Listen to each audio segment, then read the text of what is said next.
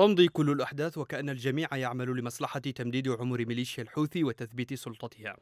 انقلاب آخر بعدن يعزز انقلاب صنعاء ويقسم ظهر البلاد. خطوة لم تكن في حسبان ميليشيات الحوثي لكن بات بوسعها الآن أن تستعيد أنفاسها وأن تندد بحملات الترحيل والسلب والنهب لأبناء المحافظات الشمالية في عدن وتستقبلهم وكأنهم رعاياها بعد انقلاب المجلس الانتقالي بدعم مباشر من الإمارات والسعودية واتهامات رسمية بذبح الشرعية. صار بوسع الميليشيا أن تخاطب اليمنيين وتؤكد لهم أن تفتيت البلد وتقويض وجوده هو المشروع الحقيقي للتحالف وأن تجد آذانا كثرا تصغي لهذا القول وتؤمن به بعد أن كانت الحوثية هي المتهم الأول والوحيد لهذه الجريمة. نصبت ميليشيا الحوثي نفسها مؤخرا متحدثا باسم اليمن واليمنيين. وهي تحاول استثمار الغضب المتصاعد شعبيا على سلوك التحالف ومطامعه التي وصلت ذروتها.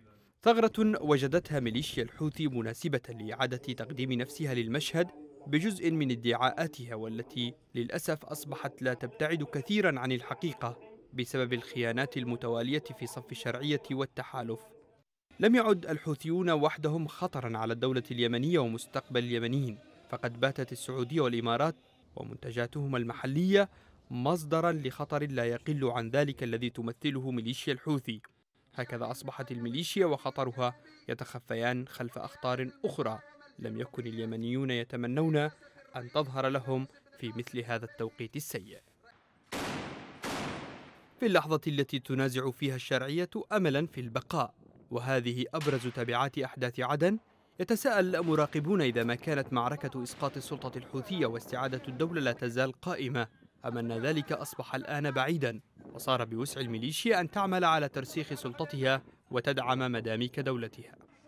صار بوسع ميليشيا الحوثي الآن أن تعيد ترتيب أوراقها وتقدم نفسها أمام ما تبقى من اليمنيين بأنها السلطة المعبرة عنهم وأمام العالم على أنها الفاعل الأبرز والأقوى في الميدان.